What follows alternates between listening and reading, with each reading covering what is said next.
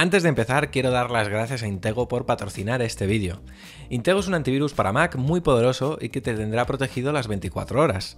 Mantiene a raya el adware, el malware y otras amenazas, así como evita que personas o aplicaciones desconocidas accedan al Mac sin tu permiso.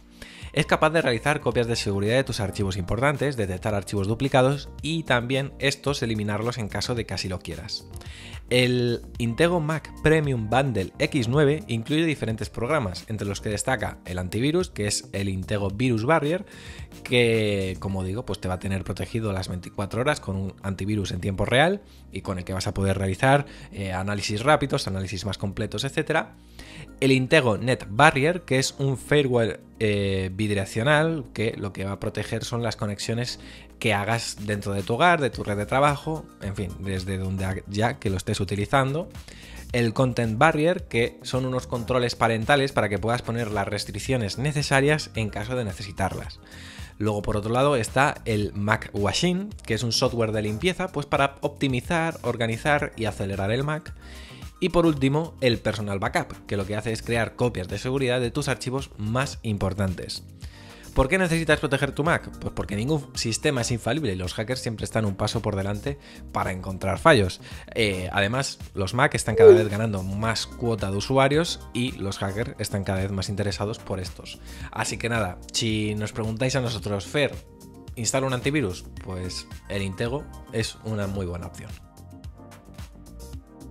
Muy buenas a todos, bienvenidos, bienvenidas a la manzana mordida. Muchísimas gracias eh, a todos por estar aquí un día más y eh, por supuesto en este vídeo lo que vamos a hacer es algo que ya hacía mucho tiempo que no hacía, eh, que era un que tengo en mi Mac, un vídeo de aplicaciones para contaros aquellas que creo que puedan ayudar para ciertos usuarios que buscan pues mm, darle un toque de aire fresco a su Mac. ¿no? El otro día este vídeo lo hice en formato podcast para los suscriptores del podcast VIP, para los suscriptores VIP de la manzana mordida, que por cierto, muchas gracias a todos ellos. Y eh, les gustó bastante. Es más, más de una de las aplicaciones que he nombrado aquí me consta que la están utilizando. Así que mm, he dicho, pues ¿por qué no lo voy a hacer en vídeo? Así que aquí tenéis un vídeo que espero que os guste. Venga, vamos allá. Bueno, lo primero que quiero mostraros es mi pantalla de inicio, que bueno, es una pantalla muy minimalista, un fondo de pantalla simple como los que trae la propia Apple. Es más, este es de la propia Apple, está en los fondos de pantalla que vienen en el sistema. Y aquí en el dock no tengo muchas aplicaciones, sobre todo están centradas en esas apps que utilizo en el día a día para trabajar. Eh, los navegadores uso Chrome y Safari, eh, luego en tema de agenda utilizo calendario y recordatorios de Apple, por la sincronización que tiene, por ejemplo, con el HomePod, con el Apple Watch, con mi iPhone, etc. Utilizaba notas para hacer guiones, pero llevo ya un tiempo utilizando VR, que VR me parece una aplicación fantástica. Eh, se la cogía Víctor Correal en su vídeo de las aplicaciones de iPad.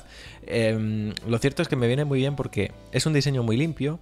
Eh, y puedes utilizar etiquetas para filtrar por categorías las notas que vas haciendo. Luego, a la hora de trabajar, eh, con los textos tienes un montón de opciones para que queden bonitos, puedes eh, poner código, bloque, marcador, es decir, puedes utilizar prácticamente un lenguaje HTML eh, como si un editor de texto para web se tratara, que luego cuando lo copies y lo pegues, por ejemplo, en una página web, se copia con todas las propiedades como tal, ¿no? Lo cual, pues oye, para la gente que escribe guiones o escribe en web, es algo que va a agradecer muchísimo. Vamos a minimizar esto. Y eh, luego por aquí Spark, que es mi gestor de correo mm, preferido. No lo abro porque vais a ver correos que a lo mejor no tendríais que ver. Eh, Trello, que es la aplicación con la que nos organizamos las tareas para los próximos vídeos y tal. Apple Music, Final Cut para editar vídeos, podcasts, etc.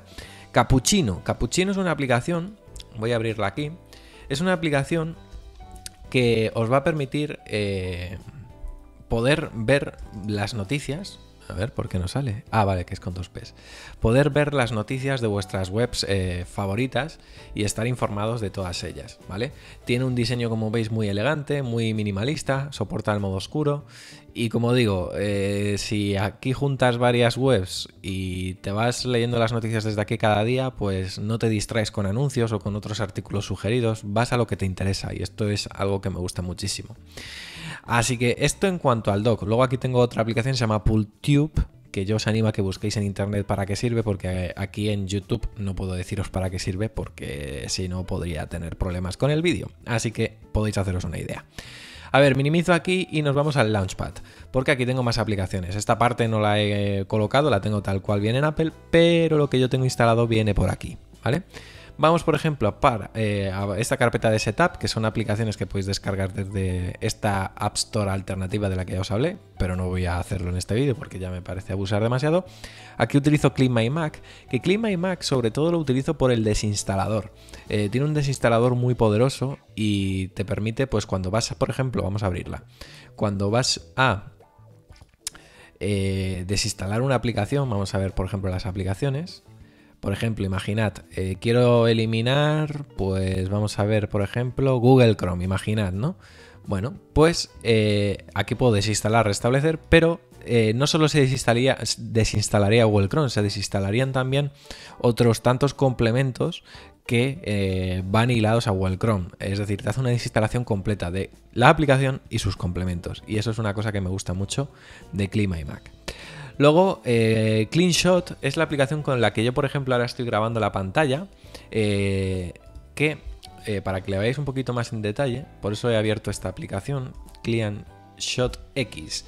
Es esta aplicación que estáis viendo aquí, ¿vale? Eh, es una aplicación para mejorar todo lo que es la experiencia a la hora de capturar ventanas, eh, hacer, pues eso, eh, capturas de pantalla. Como veis, tenemos la posibilidad de grabar vídeo también, podemos grabar GIF, capturar un área concreta, una ventana, te elimina los iconos del escritorio si estuvieras haciendo una grabación y tuvieras iconos en el escritorio. No sé, es una aplicación que en general mm, me gusta más incluso que la propia captura de Apple. Como veis aquí en el vídeo, te permite tomar anotaciones muy no sé, yo creo que es muy recomendable si trabajáis a diario con vuestro ordenador y necesitáis hacer capturas, anotaciones, porque lo podéis hacer de una forma mucho más intuitiva que con la, con la propia captura de ventana de la propia Apple. Así que esa es una imprescindible para mí, CleanShot X.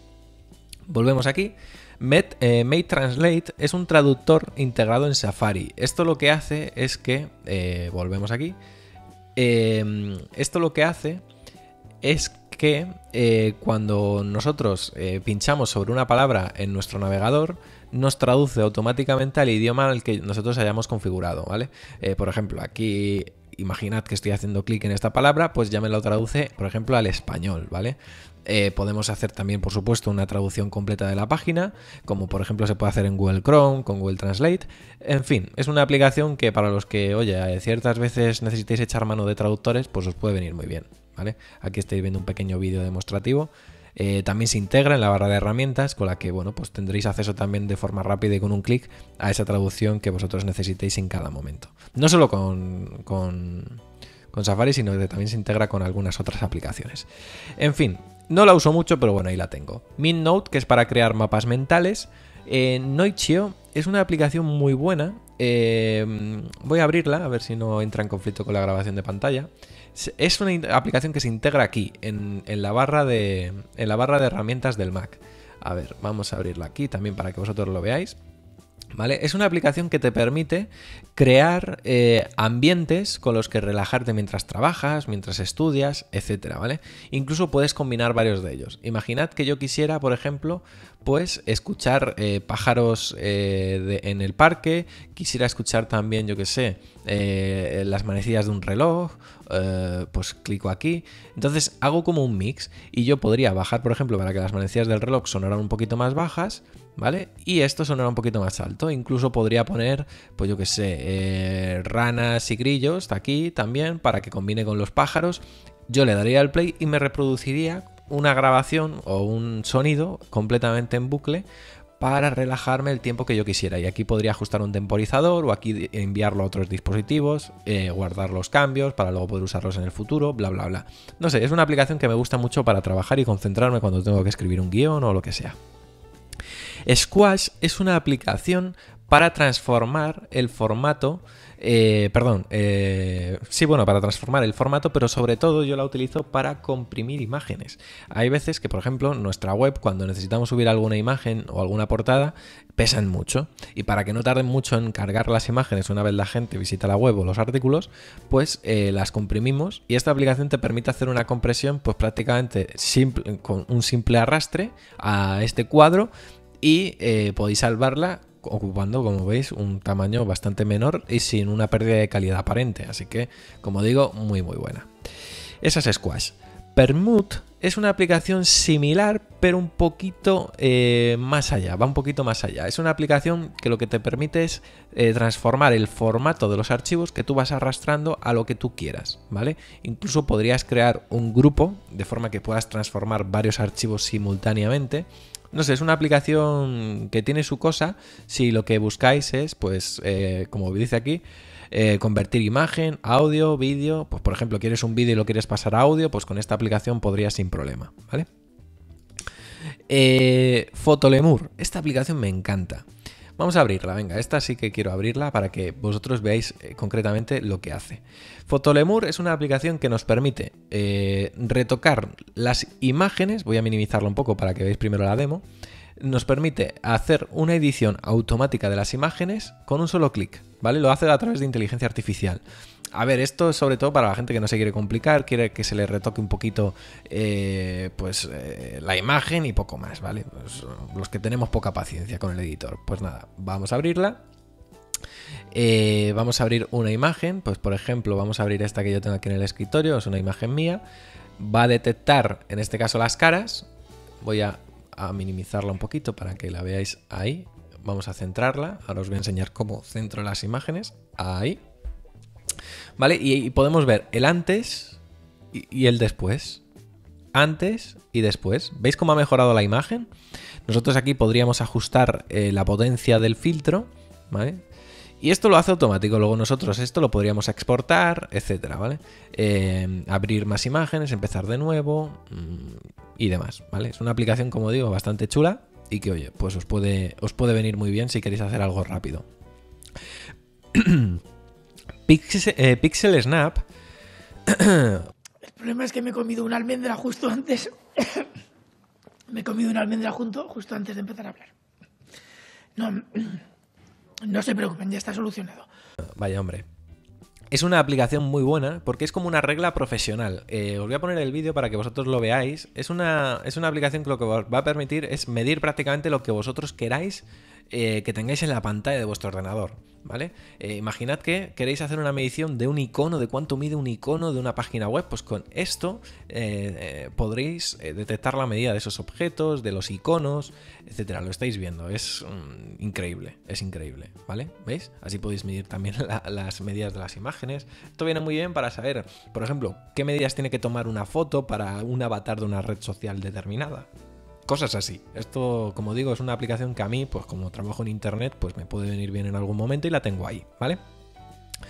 Eh, y Step 2, esta es una aplicación para los que eh, utilizamos eh, la doble verificación pues para ciertos servicios. Esta aplicación lo que te permite es evitar ese paso innecesario, bueno, innecesario, es necesario, pero un paso incómodo como puede ser lo de los mensajitos de texto, ¿vale? Y con esta aplicación tendríamos acceso a nuestros servicios eh, con la doble verificación ya activa. Así que nada, mm, como digo, me parece muy buena. Luego de aquí, de, un Archiver es una aplicación para eh, descomprimir archivos o comprimirlos. Eh, QuickTime, Pixelmator Pro es un editor muy poderoso de fotografía, una alternativa a Photoshop.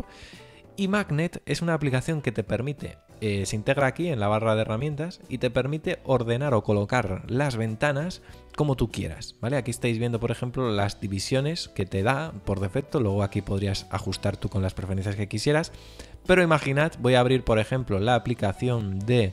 Eh, yo sé qué aplicación podría abrir, venga, eh, voy a abrir Apple Music y voy a abrir Safari, Voy a abrir estas tres aplicaciones. Pues yo, por ejemplo, podría pinchar en la ventana de Safari, le doy a Magnet y le digo, quiero que te coloques en el tercio derecho. Pues se me coloca en el tercio derecho. Eh, Apple Music quiero que se me coloque arriba a la izquierda. Pues se me coloca arriba a la izquierda. Y este, esta aplicación quiero que se me coloque eh, abajo a la izquierda. ¿Vale? Y aquí me queda otra cosa que podría utilizar, por, por ejemplo, para una FaceTime o lo que sea, yo qué sé, mm, la imaginación al poder, ya sabéis, ¿vale? Y esto te permite, pues eso, eh, cuando tienes así muchas ventanas abiertas, pues poder trabajar con todas ellas de una forma más simple. Eh, para ordenarlas o colocártelas y que sea pues la pantalla un poquito más aprovechable. Y luego, por supuesto, también, pues para centrarte las ventanas, puedes darle aquí, centrar, y te centra las imágenes o las ventanas. Para los eh, minimalistas y eh, maniáticos del orden, eso es vital. Luego aquí utilizo Skype, Telegram, aquí más de lo mismo de lo que tengo en el dock, y aquí toda la suite de protección de Intego, ¿vale? Todo el antivirus del que os he hablado antes. Y luego aquí tengo Final Cut Pro. Así que nada, estas son las aplicaciones. Eh, por supuesto, no he querido meterme en todas ellas, he querido hacerlo con la ayuda de este panel para hacerlo un poquito más rápido. Y luego ya, si os gusta, pues podéis investigar un poquito vosotros o decidme en los comentarios si queréis que haga un vídeo dedicado de una ave en concreto. Así que nada. Nada, muchísimas gracias a todos por ver el vídeo. Eh, si os han gustado las aplicaciones que he mencionado, queréis a lo mejor un análisis más en profundidad, pues ya sabéis, poner el nombre en los comentarios, dadle votos positivos para votar que queréis ver esa aplicación dedicada en un vídeo aparte y si tiene muchos votos, pues haremos una review correspondiente. Eh, en definitiva, que muchísimas gracias a todos por verlo. Eh, si os ha gustado, por favor, dadnos un me gusta, suscribiros para más vídeos como este y nos vemos en próximos aquí en La Manzana Mordida, porque ya sabéis que yo soy Fernando y prometo hacerlo.